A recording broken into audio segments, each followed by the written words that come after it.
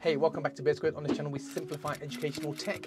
In today's video, I'm going to show you how you can automatically send out a, a, Google document, a Google Sheet, or a Google Slide, but get the participant to request a copy.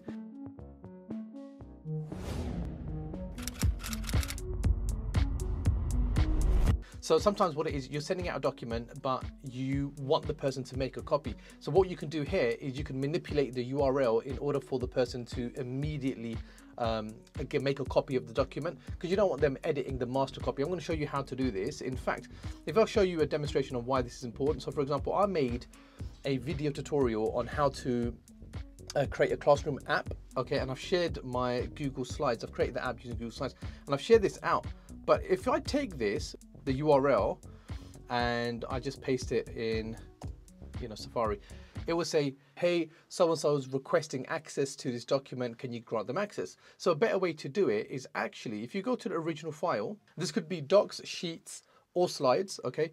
Click on the share button here, and then go to get link, okay? So I've got the link now. If I just go to notes here, create a new note, and let's just say I type it here. What you want to do is you want to delete the end part here. So where it says this edit question mark UPS dot sharing, delete that and just type in copy. Okay.